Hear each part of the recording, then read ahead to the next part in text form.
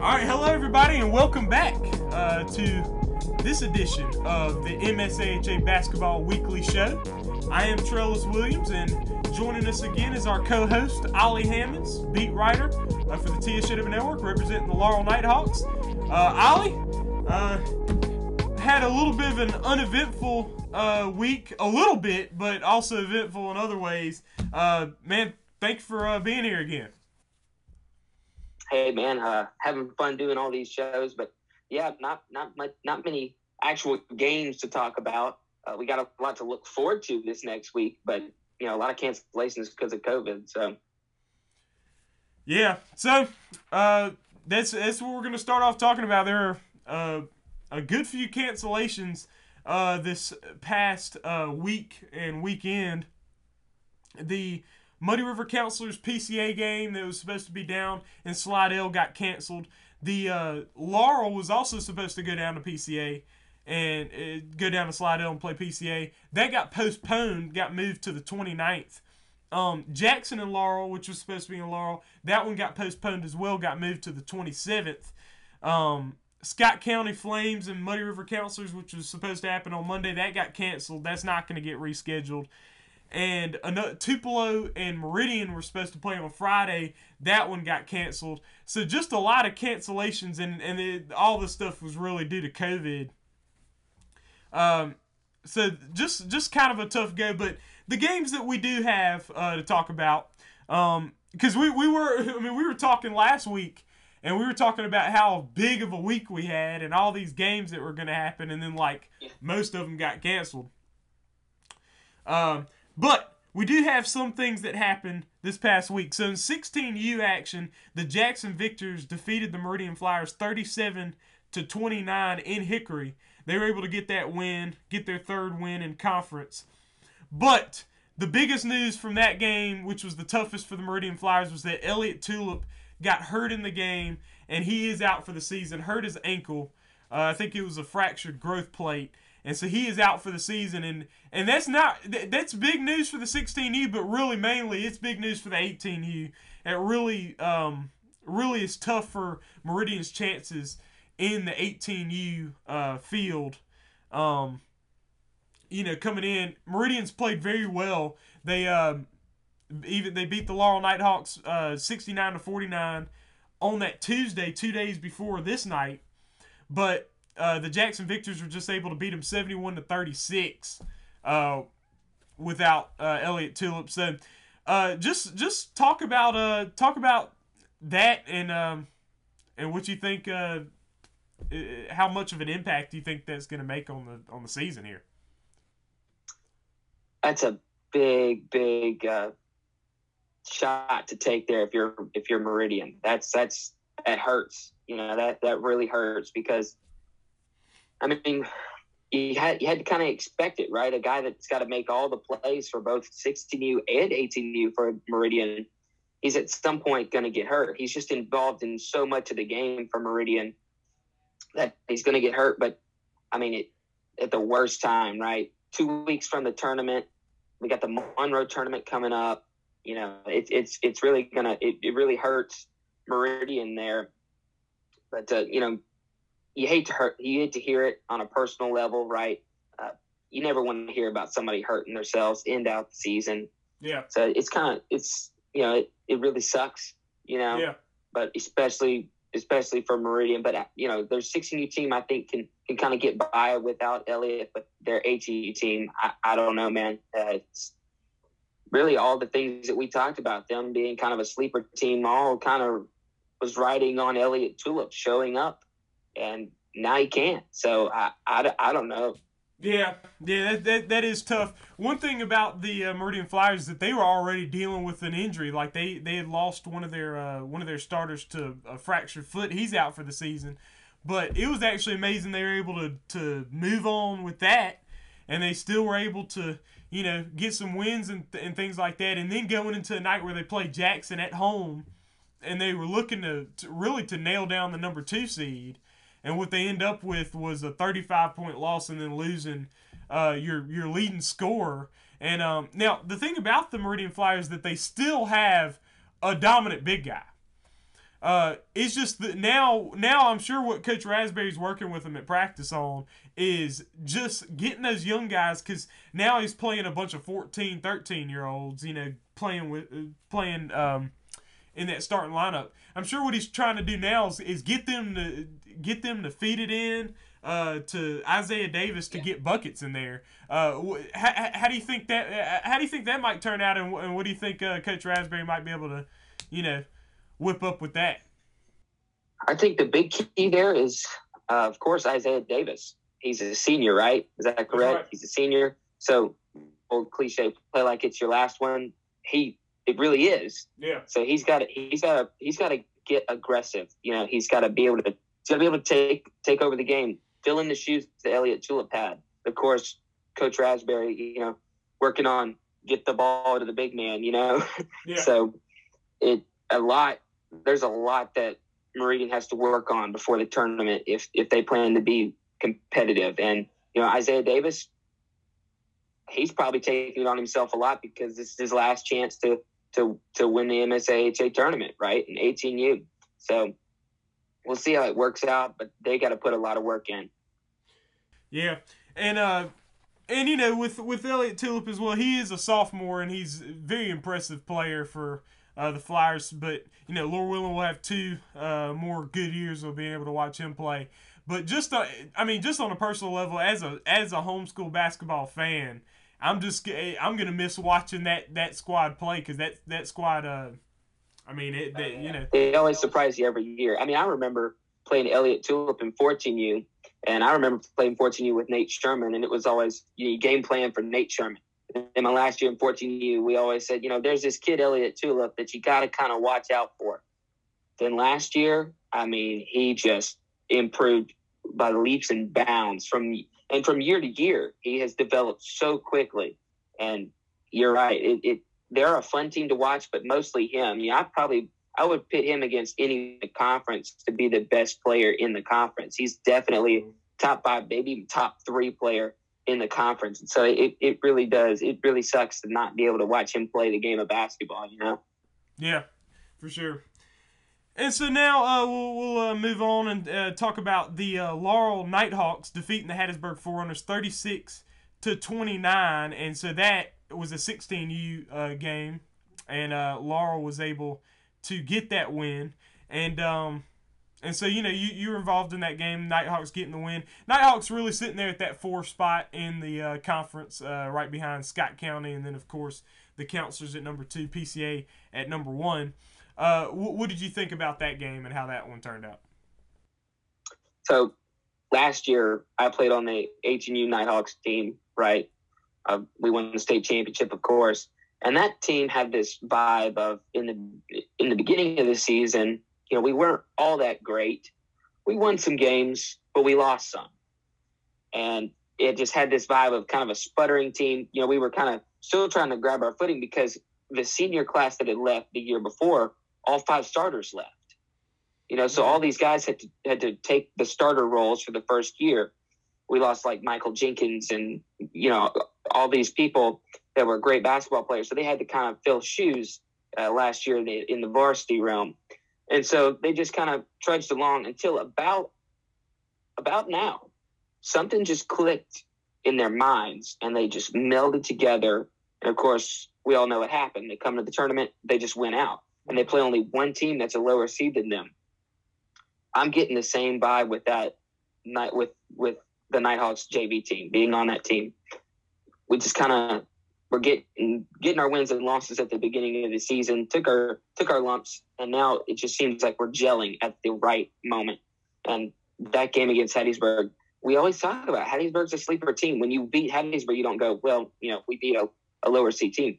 No, you can take some pride in that. They're a scrappy bunch, so uh, that really feels good to get a victory. But uh, especially knowing that you know we can hang with the top two seeds, and then to get a tough victory like that that's a that that makes us feel good going in the in the tournament time. Yeah, for sure. And just like you were saying about Hattiesburg, uh, you know that's a t- it's a tough draw because now now that the counselors and paladins uh, 16u game uh, got canceled, now it is it is uh, I think it is for certain now that PCA will take the number one seed in the 16U standings. Uh, Muddy River will most likely, Muddy River will take the number two seed as well. And um, so, but now that means that that the counselors will most likely be playing the Hattiesburg Forerunners, who are the seven. And th- there's there's a difference there. That's not an easy. That's like that's a tough first round go, especially w- what you would think of being a two seed. You play a seven seed, so that that's that's a that's a tough one, and um, you know that's a good win there uh, for Laurel. And of course, in 18U girls, 16U girls, the Lady Hawks are just kind of. I mean, they've just kind of been uh, stomping everybody. I mean, they moved to six and zero oh in 18U girls. They're 12 and 0 overall. Um, 16U girls, they're 10 and 0 in conference and 13 and 1 overall. So I mean, you're talking about like one loss between 16U and 18U. This that's really just amazing and they're just really you know, getting wins by big margins and all that kind of stuff. Uh, I we've talked about it every week, but how are how are the Laurel Lady Hawks looking to you? We, uh, you know, basketball. We we've talked about this too with the with the girls with the Laurel Lady Hawks. Fundamentals can win you so much in basketball, and that's what they have down. They have the fundamentals down. Put the ball in the hoop, right? That's the objective of the game the Lady Hawks can hit they can hit their layups. Sometimes that's a divider in the game. You know, yeah. there's all kinds of stuff that can divide teams, and fundamentals is the main one. And that's what Coach Sean of the Lady Hawks has instilled in his girls, and that is the fundamentals of the game of basketball. And that's what's propelling them to be so successful. And of course, we've talked about this too. This is the same groups that won 14U tournaments and last year 16 tournaments. You know, they're they're they're a really good bunch, and they've just kind of grown up together, and they've grown their game together. So that's interest. It's interesting to watch because it's really, you know, the showing that if you have fundamentals, you can be successful in this game. So it, it's fun to watch. Yeah, and so uh, so we'll we'll move into talking about the upcoming week, which. Uh, we have we have some things happening upcoming uh, week, and uh, but I will remind you um, to go ahead and uh, pick up the MSAHA League Pass. So the League Pass has a bunch of games from around the conference. Uh, a lot of uh, the conference games are on the uh, are on the League Pass. So if you go pick that up, that'd be good. Individual games are there for purchase as well. Um, a little a little fun fact here. Um, the Muddy River Counselors when the when the uh, game against the Scott County Flames got canceled, uh, the Flames had some uh, COVID issues. Um, it was the Counselors senior night, and so they played a brown and white game at home. And so that game's actually up on the League Pass. If you want to check that out, and just a little sneak pre- preview, yours truly played in the game. And so if you want to, you know, see how you know how that went. Come on, Trellis. You know, hey, listen. Come if, on, Trellis. If you just want to see how that went, you can go. Come on, man. And check it out. Oh my gosh. That, that's all. I, a, that's all. Shameless plug. that's all oh, I'm gonna say. Gosh. On that day. All right. So this upcoming week. this upcoming week on the 25th, the Scott County Flames will be taking on the Hattiesburg Forerunners in 16U, and so that should be. Um, that should be interesting. So, uh, Ollie, what do you think about that? What do you think about that one coming up? That's the three seed Flames against the Hattiesburg Forerunners, who are the seven, as we've talked about uh, earlier. What are you thinking going into that game? Um, you know, Scott County and Hattiesburg and 16U are kind of similar teams. You know, they got good a good point guard. Both teams have very good point guards that can shoot the three. They really don't rely much on the mid range jumper. You know, they they'd rather drive in, try to get the foul, or step back and hit the three. So that they're very similar in that way. They really like to run the floor a lot. Um, that's that's kind of mostly where they like to get a lot of their offensive points is running the floor. So uh, it's going to be an interesting matchup. I think this might be a this might be a place for Hattiesburg to sneak in there and get that win, right? To kind of have you, know, you talk about uh, Muddy River. I know you've talked about this before not having that marquee win yet. And then when they beat Jackson, they had that. This could be Hattiesburg's way of getting that marquee win, right? Against a number three seed Scott County team who's really surprised a lot of the league Yeah. This could be Hattiesburg's chance to really come into the tournament knowing that they are a, a good enough team, have a fantastic chance.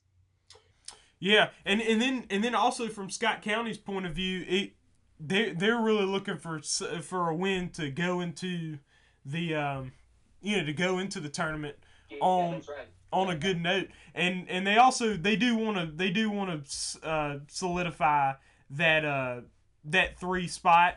And I think it, when I look at the standings right now, I think they've solidified the three spot. They're five and two in the conference, and um, so they have solidified the three spot. But there's also momentum. Momentum is probably more important than seeding right now. Because another thing too that we have not even mentioned is that playing Hattiesburg in the tournament is not a good draw either because Hattiesburg is going to have home court advantage because Yes. the tournament is actually in Hattiesburg. So um, any home court advantage that's floating around would be going Hattiesburg's way. So definitely not a team that Hattiesburg has stepped up the atmosphere around the game, so it really kind of is. They've really made it an advantage. You know what I mean? You know what I mean? for sure, yeah. So, you- you're right. Yeah. So also uh, in the upcoming week we've got the Gulf Coast District Tournament uh, for the NCHBC.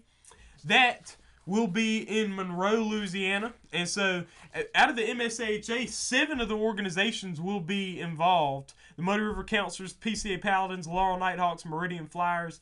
Jackson Victors, Hattiesburg Forerunners, and Tupelo Titans will all be involved in that uh, tournament. They'll be in different divisions. Like the counselors are only doing 18U. I think PCA's doing, uh, you know, multiple teams. Laurel's doing multiple teams. I know Meridian's doing 18U girls. Uh, Jackson's doing uh, 18U and uh, boys, and you know, you're having different teams doing the different thing, but um, definitely a lot of involvement uh, there. What, what, what do you think? What do you think that uh, these games could be like? Uh, go ahead, talk about 18U uh, boys right now. What for the teams that are involved in that? What do you think uh, Monroe could be for these teams when it comes to statement wins and things like that? I think this year it's been really, really cool to see the MSAHA. You know, it's it's grown from year to year, but to just see how much it has grown. I mean, that many teams going to an out-of-state tournament is a big deal. You know, the the MSAHA has grown a lot, and so it's a it's a great time to kind of celebrate, celebrate what all the teams have contributed to grow this conference into being. So, and you know, also kind of a chance to see what it'll be like before the tournament. You know, so it's kind of a precursor to the tournament. Doesn't count the seeding, doesn't count to regular season. You know, record. It just counts bragging rights at this point, and to kind of see uh, how how it's going to end out in the tournament. Um, so that's going to be interesting. But I mostly think that what these teams need to take away is kind of a celebration of the conference, just to show you know we've grown this much.